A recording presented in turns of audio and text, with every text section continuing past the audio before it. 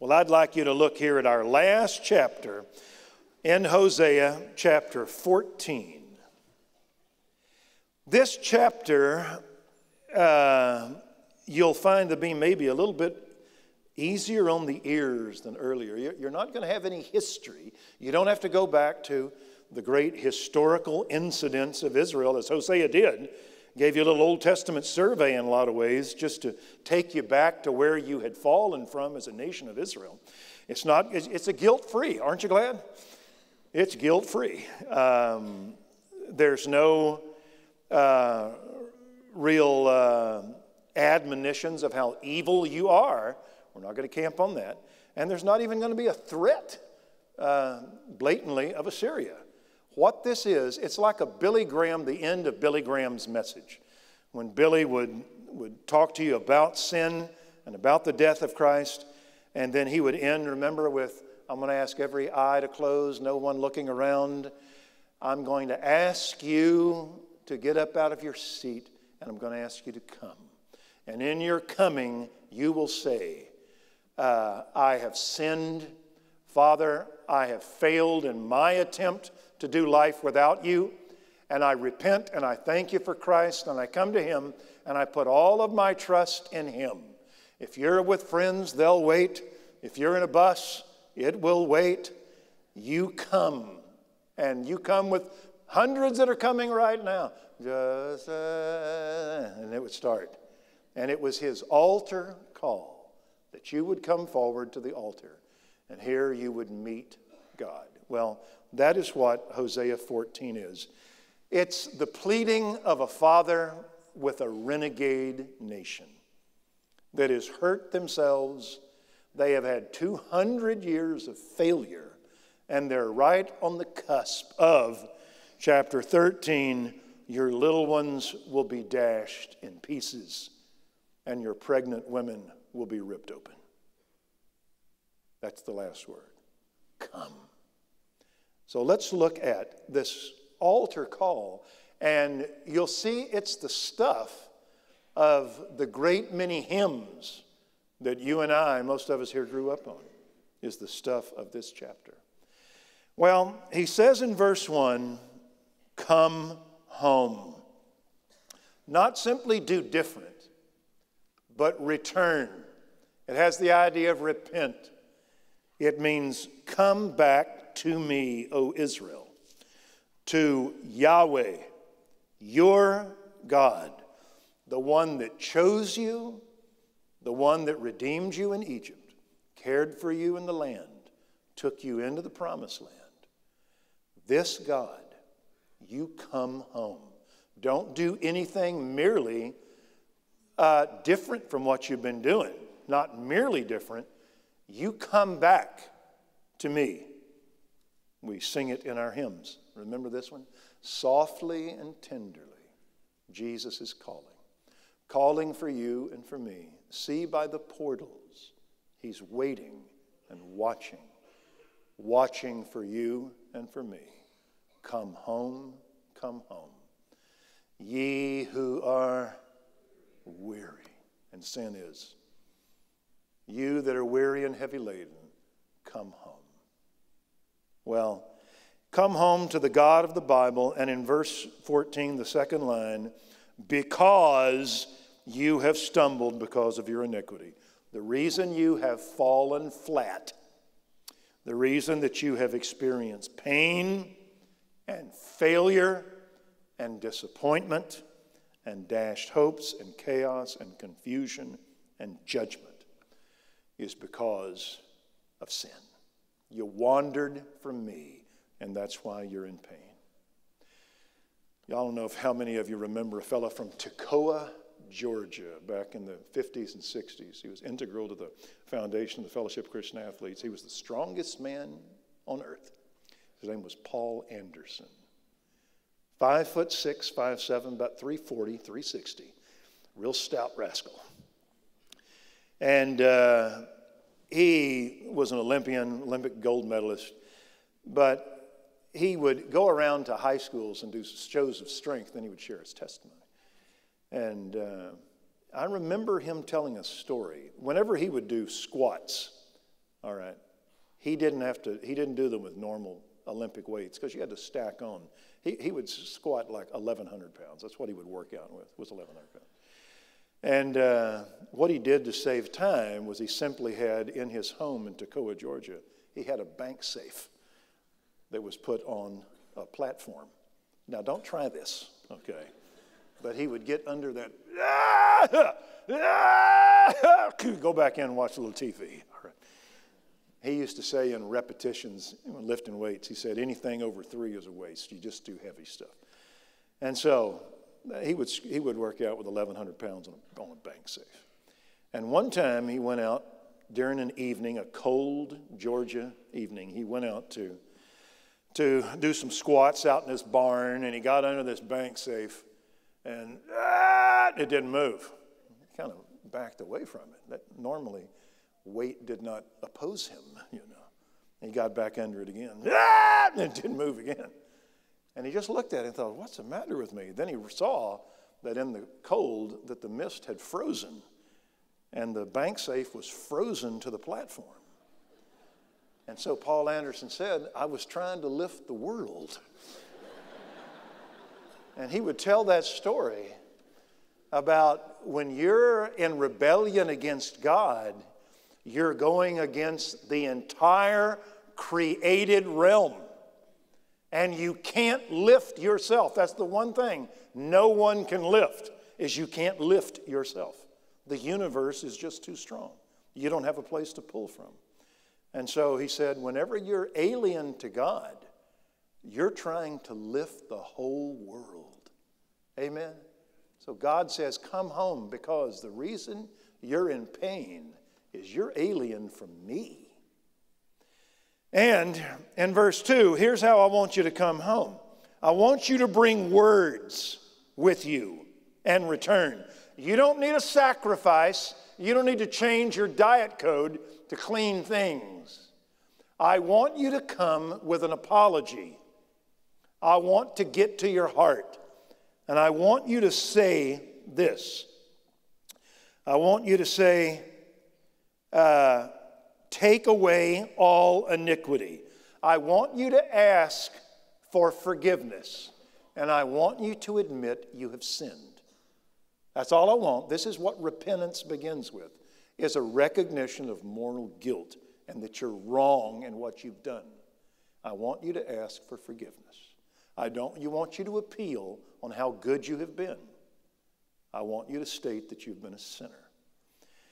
And after you do that, I want you to say, Receive us graciously.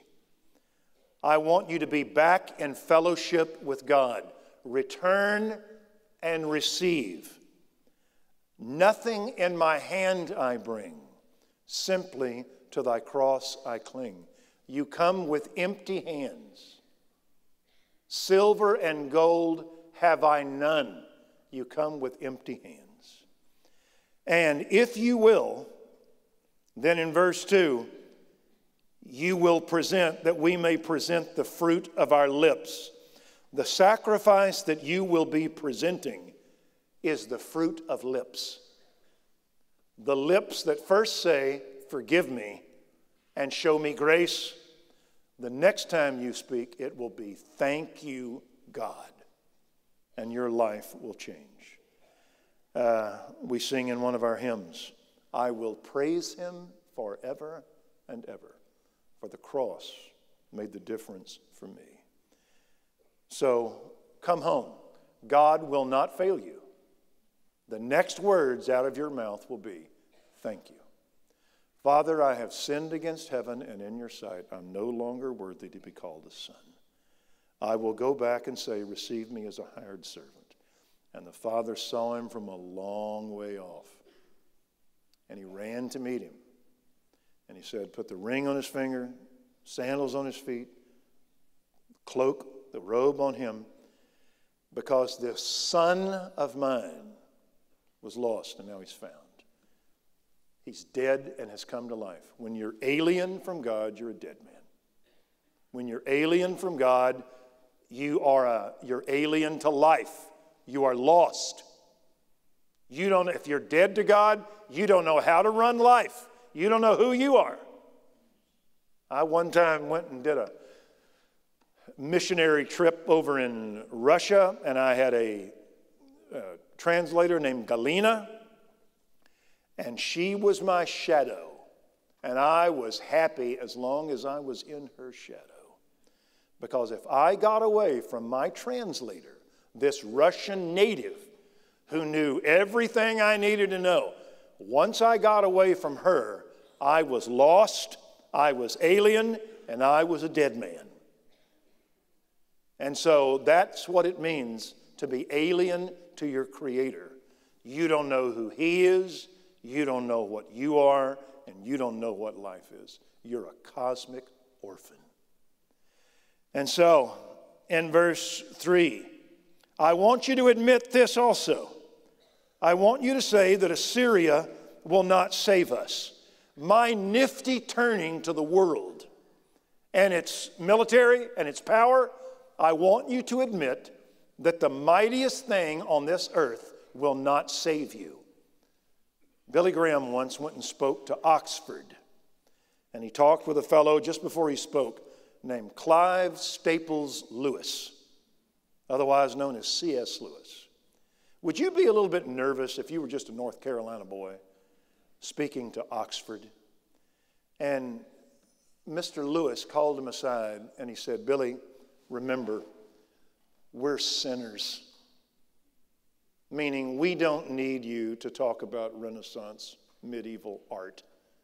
We don't need you to talk about you know, Hebrew language. That's not our problem. We're sinners. Talk to us about sin. Well, God says, You've got to say, Assyria, the mightiest nation on earth, I want to hear you say it. That the world will not save us. And I want to hear you say, We will not ride on horses. Now, what nation do you think of that you would look to for horses that Deuteronomy 17 says don't do it. It's south of Israel. Got a guy named Pharaoh that runs it. Got big pyramids. Who are we talking about? Egypt. I don't want you to go to Egypt. I don't want you to go north to Assyria, and I don't want you to go south. I want you to admit to me that this world will not save you. And I want you to say to the work, when we will not say our God, to the work of our hands. I want you to admit that the world's ideas of God and your ideas of God are wrong. I want you to say that. And I want you to admit at the end of verse 3 that in you the orphan finds mercy. That this is a, you are a personal God, you are a good God, and you're the God of the little fellow. Is there a God so great that he is the God of the entire universe, but a little bitty boy or a little bitty girl that is alien and scared can find rest in him? That's what I want you to say. That the infinite personal God will help you. The God of your fathers. Who's the orphan? The orphan is Israel. And this isn't, this is what we sing in another one of our hymns. I need thee every hour. Most gracious God, no tender voice uh, like thine can peace afford. I need thee. Oh, I need thee. What's the next phrase? Every hour I need thee. Uh, bless me now, O Savior, I come to thee. That's what you've got to say. This is called the stumbling block in the New Testament. This is why people have a problem with God. Is you have to admit that my rationale and reason are not smart enough. That I need the God of revelation, the God of the Bible. And you have to admit that you're not good enough, that I'm a sinner, and that my moral rectitude will not fix me. You've got to admit that that you're intellectually, philosophically, noetically, and you are morally inept. And physically, that I'm not strong enough to fix myself. That's all you've got to do. You have to be honest and you have to admit some things. And then you come to me for light, for forgiveness, and for rebirth. All you've got to do is own up and be honest. And that's why the world has a problem with the stumbling block of Christ. Do y'all remember a fellow who had leprosy in the Old Testament named Naaman? And he was a wealthy, powerful individual that had conquered Israel. He conquered the house of the wicked northern kings. God used him even though he didn't realize it. And he got leprosy, and he's going to die slowly. And uh, a little girl, a slave girl from Israel, out of the mouth of babes, she said, I wish that my master, Naaman, was with the prophet in Samaria, Elisha, because Elisha could fix him. Well, you might not listen to a slave girl about the prophet of a conquered country unless you've got leprosy. And so he has no plan B. He's going to die. And so he, uh, he goes to the king and said, I, I'm going to go see him. The king wrote him a letter to the Jewish king because a prophet was considered kind of a crazy guy. I don't want to have to admit that God has spoken to these people. I want their king to give me healing, and I want you to write a letter that says he got to. So, was his faith pure faith? It was flawed. And you remember he took all of his, and, and the king, he came to the king of Israel, and the king said, This guy's trying to pick a fight with me. Am I God that I can heal the leper? I can do so much. Well, he's got to go to the prophet. Go to Elisha. He went to Elisha and he took all of his entourage. He took his horses, he took his wealth, he took his gold, silver, changes of clothes, because he's going to buy himself a healing. And so he shows up with Elisha. Elisha doesn't even come out to see him because he saw this is a guy that's going to demand from God to do what he wants him to do. He is, he, we're going to have to fix him.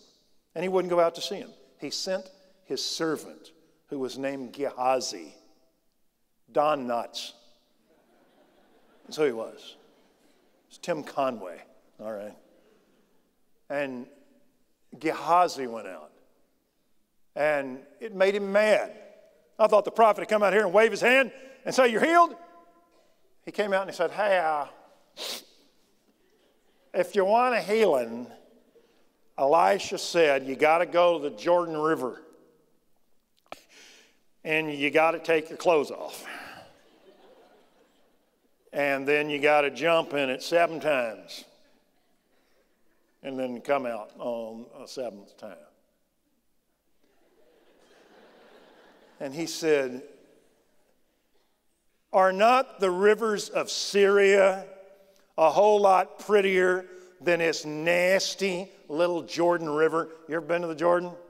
It ain't that pretty. We got the Tigris and Euphrates, son. I got more, I got rivers like you never seen. No. Goodbye, I'm out of here. So the stumbling block, to have to admit that Israel's God and that God's prophet was the true God, that he was the only true God, and it just didn't sit well with him. Are we like that? No, you tell me to climb Everest to be saved, I can do it. You tell me to kneel before an implement of execution, and admit that I need to be there, and that I can be saved the same way as a prostitute or a pimp or a pusher, that's an embarrassment to me. Son, I got a degree. I've got a master's. I live in a house with 4,000 square feet. I drive a whatever, and no, I am not going to do that. Are you with me? That's called the stumbling block of the cross, having to bow beneath the yoke of grace. And his servant said to him, He said, uh, You know, Master, if he had asked you to do something impossible, you'd have done it. All he asked you to do is wash and be clean. What he was saying was the problem, Master, isn't him. The problem is you. But it's hard to rebuke a general. But that's what he meant. The problem isn't him, the problem's you. This is really the greatest thing you've ever heard of. You can keep all your money, It's free. All you've got to do is own up that this God is a great God and our gods are false. That's all he asked you to do. And Naaman said, Okay. And he went and jumped, took his skivvies off. You ever seen a naked leper? Well, I have.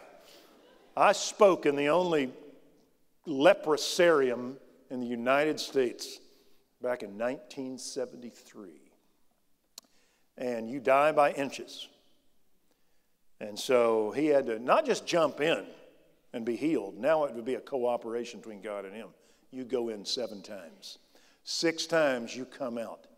And you just, it looks, you're stupider the longer you do it, the stupider you are. And you're coming down to faith. And he comes in the seventh time and he comes out. You remember what it says? His flesh is like baby's flesh. In other words, he's born again. And then he said, Hey, take all my money, please. I, I, it's not now a purchase. Thank you. And they said, No, he's not going to take a dime. We're not going to have anybody think you bought this. Then can I take something? What's that? I'd like two mules' loads of this Jordan dirt that I used to hate. I'm going to take it home because that's the prettiest dirt I've ever seen. And I will never worship another God. It'd be like taking a crucifix, and I'm going to wear it right here, and I'm going to let everybody know. Incidentally, you never see uh, Naaman again. Have lost his job. Who knows? Well, that's the stumbling block. And so God says, This is what you've got to do. First time I heard the gospel in my room in 1972, I said, that's, If that's not true, it should be. That's the greatest thing I've ever heard. And I didn't trust it because I knew I couldn't have God and me. One of us had to get out of the front seat. And God simply, in so many words, said, I'm not coming in here until you move aside. Get your hands off the wheel. I'm going to take over. And so, in verse uh, 4, here's what I'll do you do it, and I will heal your apostasy, all the effects of your sin, the mess you have made of your life. I will heal the results of your falling away from me. It goes like this Just as I am, thou wilt receive, both welcome, pardon, cleanse, relieve, because thy promise I believe. In Hezekiah's day, there was a revival, and it says God healed the people. Their families got better, their view of life got better, their view of right and wrong got better. By his stripes, we are healed. We are removed from the effects of our sin.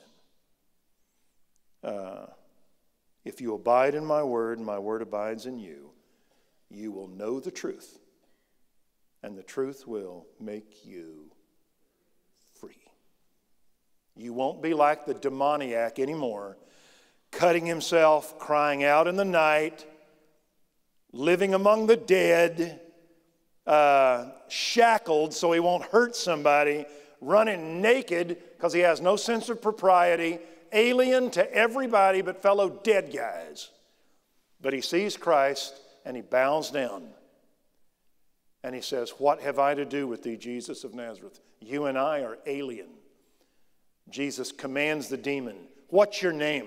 That's a way of dominating somebody. What's your name? Legion, we're many. Begone. Would you please not cast us into the abyss? Oh, please, please, please. They're asking for mercy. How about throwing us into the pigs? Go ahead. Remember what the pigs did? You see a picture of what the unclean do when possessed by the devil. They started downhill and got faster and faster and faster until they went into the abyss and they died. And that's the way that the world does when it's possessed by the devil. It goes downhill faster and faster. Why were they going downhill faster and faster? Because all the other pigs were. They were all pigs of a feather. Boom! And you end up in hell. And then you remember what that demoniac did? He sat down. He was clothed, he was in his right mind, seated at the feet of Jesus. And then he volunteered for something mission work. I would like to get in that boat and go with you. Jesus said no. He did what the pigs wanted, he did what the demons wanted, but he didn't do what he wanted. No, you go back to your home. You start there. Before you do mission work, go home and tell everybody what God has done for you. Isn't that a great story? Well, I will heal like Nebuchadnezzar.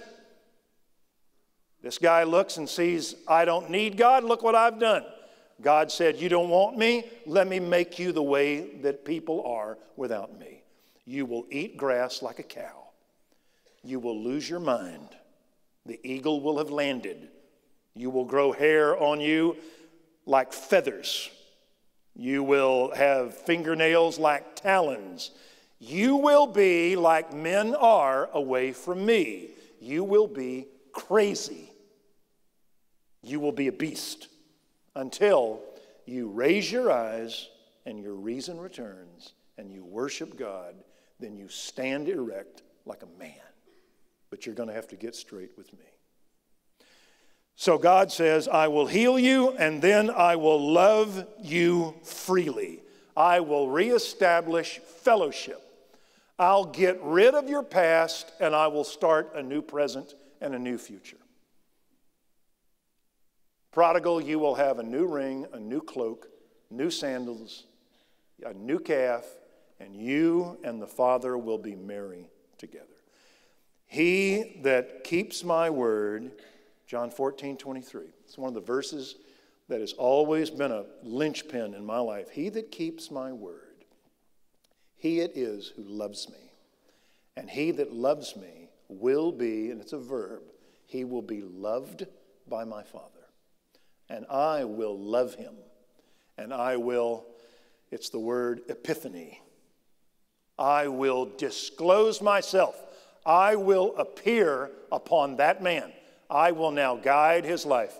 When I put my trust in Christ, I experience this very thing all the scabs in my life from doing stupid, God began to heal because I quit doing stupid. He changed me. And then I experienced the hand of God guiding me now through life. God loved me freely. We sing, Come every soul with sin oppressed, there's mercy in the Lord. And there is. One of my favorite stories is a Welshman who was an alcoholic, and during the Welsh revival, he trusted Christ as Savior, dramatically converted. And all of his old drinking buddies made fun of him. And they said to him, You really believe that Jesus turned water into wine? He said, Well, in my house, he turned beer into furniture. Meaning, he changed my life. Draw me nearer, nearer, nearer, blessed Lord. You remember that? To the cross where thou hast died. Draw me nearer, nearer, nearer, blessed Lord, to thy precious bleeding side. And so that's what I will do to you. I will fix you and I will give you a new life. And in verse 4, my anger has turned away. What that simply means is there is not one person anywhere in the Bible that God will turn away. Not once. I've been to seminary, I'm real smart. There's not one place in the Bible that a repentant sinner turns to God. And God says, I have disliked you for years. Not a one. Are there churches that will turn them away? All the time. The guy that was lowered through the roof couldn't get to Christ because of the crowd. Zacchaeus couldn't get to him because of the crowd. The woman with the issue of blood couldn't get to him because of the crowd. The woman that was a sinner couldn't get to him because of the Pharisee condescending upon her. The tax collector couldn't come near because of the Pharisee. I thank thee, O God, I'm not like other men, like this idiot. So there's a lot of times Christians will hold you at a distance. Can you be a person that has spent your whole life as a thief, be alienated from God, found guilty by Rome, put to death, and in the last few hours of your life, turn to the guy that three hours earlier you cursed, and he will say, uh, You will say, Jesus, remember me when you come today. You'll be with me in paradise. I'll do you one better. Is that possible? It is. And so you come and I will heal you. My word. Trust me, I will not turn you away. Well, in verse 5, here's what I will be I will be like the dew. You're now going to begin growing. You're going to have life. You're going to quit going downhill. Did y'all have y'all noticed your lawns are a little greener? There's a reason. Did y'all also notice you had big cracks in your lawn? Because it was dry and the ground was all congealed. And you had all the properties, you had CO2 was in the air, it could be taken in. You had minerals in the earth, they could be taken in. You had the invincibility of the sun shining for photosynthesis, but your plant was withering. You know why? Because all of those things surrounding it, it was alien to. The dirt was outside. As a result, you couldn't get chlorophyll, you couldn't have photosynthesis, you couldn't have growth. The roots were drying up because you didn't have a mediator to take the outside and bring it to the inside. You needed something. What was it? Water. It's the mediator, it's life. All of a sudden it rained, and now that little old plant was in congruence with reality. And now you got to mow. Same as me. So I'm going to give you life. And in verse 4, uh, verse 5, you will blossom you're not going to be the ugliest thing on the block. I'm going to turn you into something other than an eyesore. I'm going to make you pretty in the sight of God and men. We're going to have people name their kids after you instead of picking them up in Kroger's and running from you. I'm going to make you something pretty. And he will what's it say? Take root like the cedars of Lebanon. I'm going to make you strong. We can build with you now. Your life is going to take on hope. One of our staff came to me a while back and said, We got a guy just came into our ministry, and he had been in jail. And he said to me, I, I got saved. He said, Where at? At the Denton jail. He said, A guy came in there named Bob and preached. And he said, Bob Nelson? Yeah, that's Tom Nelson's brother. Wow! Where is he? In heaven. He's gone home. No. Yep. And he said, I wish I could thank him. My brother saw this guy come to faith. One time, my mother, when I went down, down to Waco, and she said, I got to tell you something. Sit down. Yes, sir. I sat down. Not even on a chair, just right on the floor. When my mother would say, sit down, you sit down. And she said, Do you know who was out in front of the house a couple of weeks ago? With his child, walking around in his right mind? Corky Mahoney.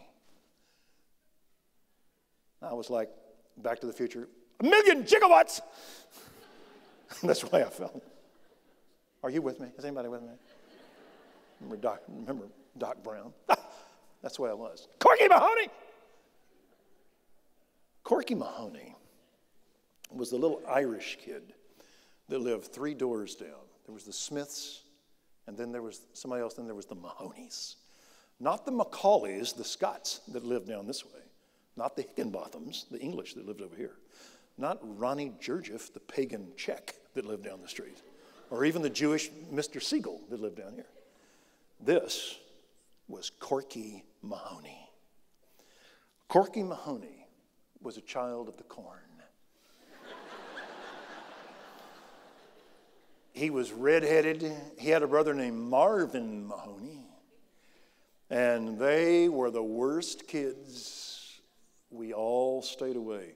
They ran over my brother's chicken with a lawnmower.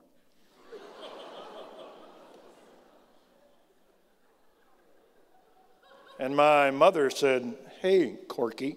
And he went, God, how'd that happen? Yeah, it's under your lawnmower. A lot of times you run over chickens with your lawnmower. That was Corky Mahoney. She said he was out in front of the house. There was a young a man with his child, leading him around, showing him where he had grown up, smiling. He was well tailored. And I walked out and I said, And who are you? He said, I used to live here. And who are you? I'm, you remember Corky Mahoney? And my mother.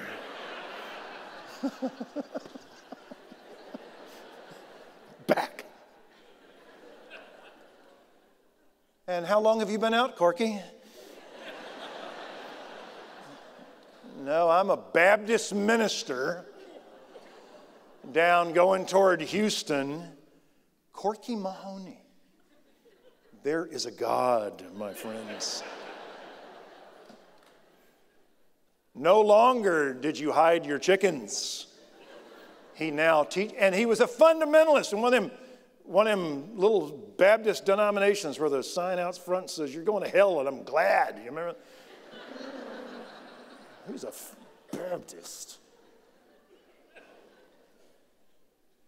And not only will you be strong, your shoots will sprout. You know what that means?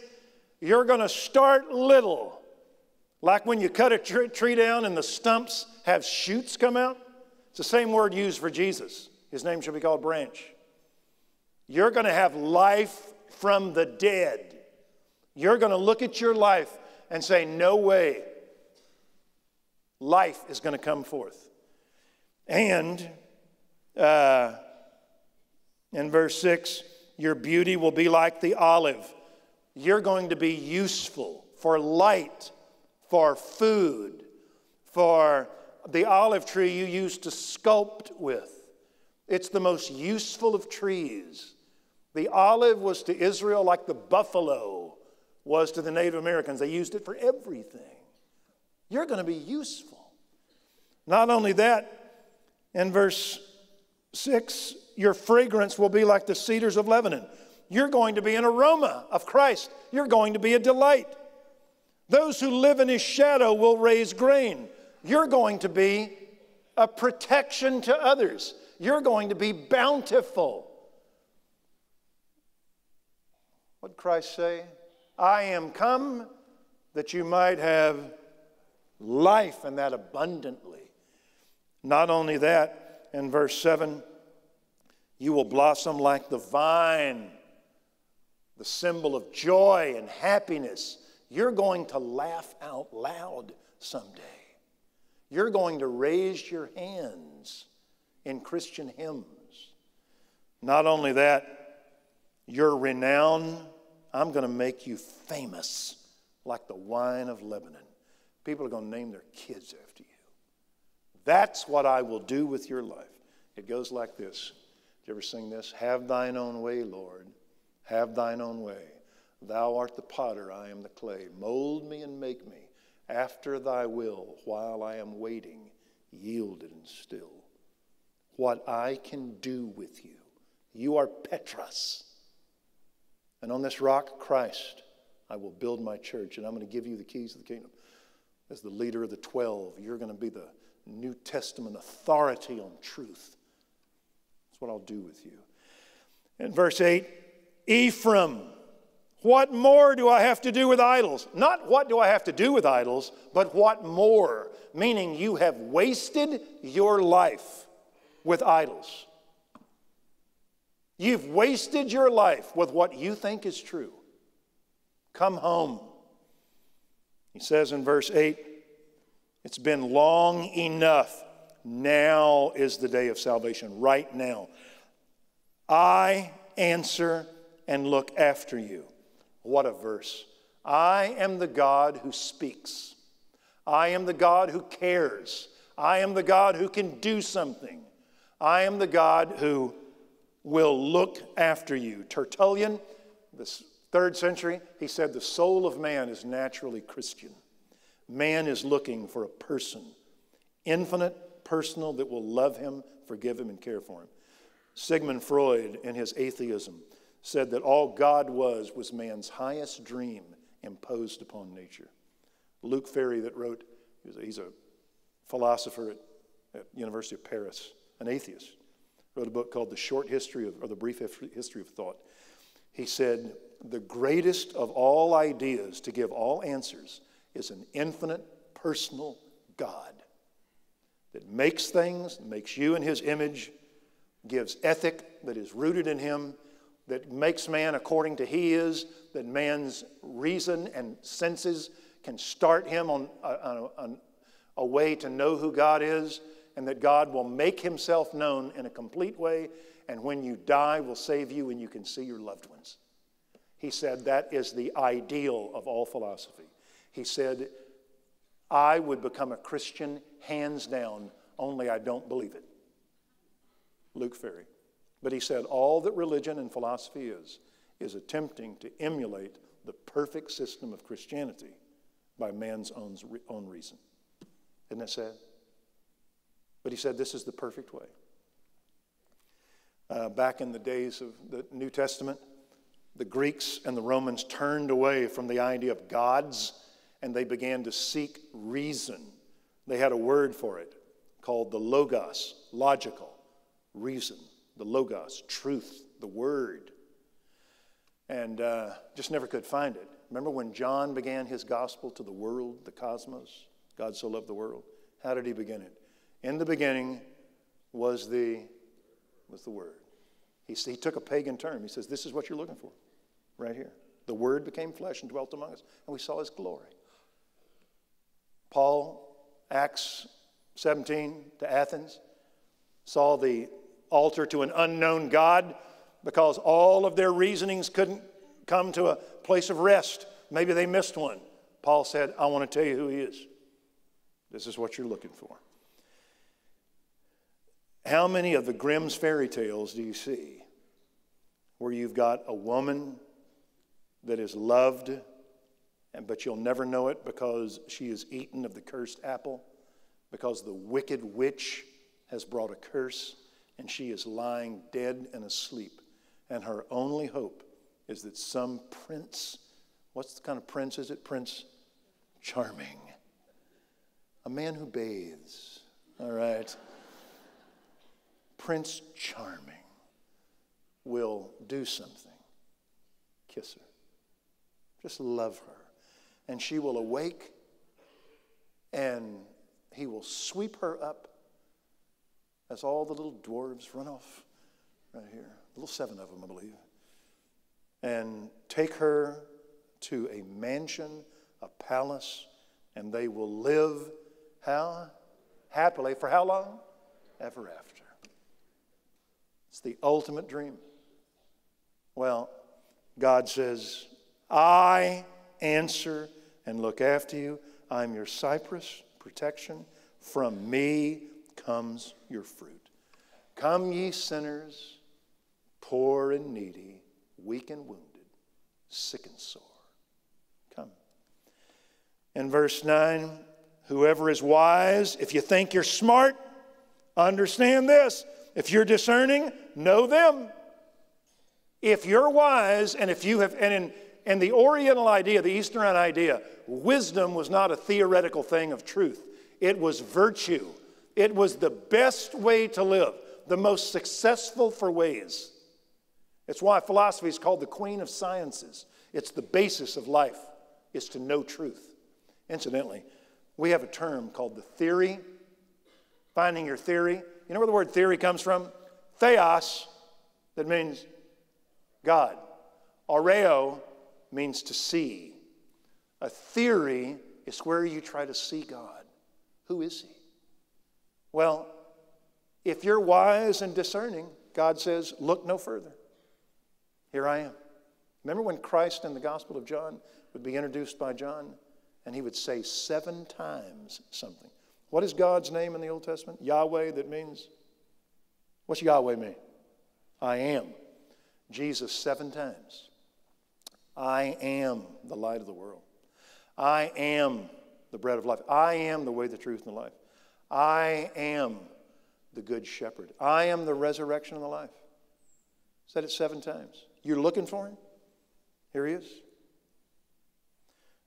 In verse 9, here's why you need to know them because the ways of the Lord are right. Biblical religion isn't true because it works. It works because it's true. It's right. If you're a righteous man, you're going to walk in them. Whenever you walk, you trust. You go forward one step and you catch yourself. Forward one step, you catch yourself. It's an act of faith. And you walk in life and progress. He says that's what it's going to be like. If, you, if you're righteous, you're going to walk in my word. You're going to be successful if you trust me. You're going to get along with people, you're going to get along with your mate, you're going to get along with your kids to a degree, somewhat, at any given time. You're not going to become a blow your money, you're not going to blow yourself morally out the window. You're going to walk with me. But if you're a transgressor, you're going to stumble. You reject me, you're going to fall, you're going to fail, and you're going to hurt yourself. Come home. Father in heaven, how simple this text is the pleading of a God with his creation. Somehow, O creation, you think that brilliance and strength is the rejection of the matrix the mother, the mater, that that is wisdom to reject the very foundation of your life. But you're dead. You're just sleeping. You're in suspended animation. Come to me, all that are weary and heavy laden. Take my yoke upon you and learn of me. I'm gentle. I am humble in spirit you'll find rest for your souls. Father, if there's some guy or girl, man, woman here this morning that they don't know who they are, they don't know where they came from, they don't know what the universe is, they have just studied matter and mechanics, and they don't understand the origins and the destiny and the purpose of anything. And the only reason they're still sane is they will not deal with the issues. Bring them home. Our country. Oh God, we're so impressed with ourselves, our science, our technology, our transportation, our medicine that can keep a fallen human going for a few more months. But we can't change a soul. We can't fix a kid. We can't save anybody from death. And we for sure can't heal our own leprosy. We have found Abana and Pharpar rivers that are far better than the Jordan. The only problem is they don't save because you have said that in the cross there man will meet his God. And so, Lord, we at this church cling to this ancient truth. We are the Jedi's. We hold to the ancient most archetypical of ways, and that is the way of the Garden of Eden. That the seed of woman, a man, will crush the serpent's head, and the serpent will wound his heel. A man will die, bitten by sin, that other men might live. And all of your word just extrapolates and elongates and amplifies that idea of who the virgin born child is. And so this hour, bring the lost home. O shepherd, might your elect hear the voice of Christ.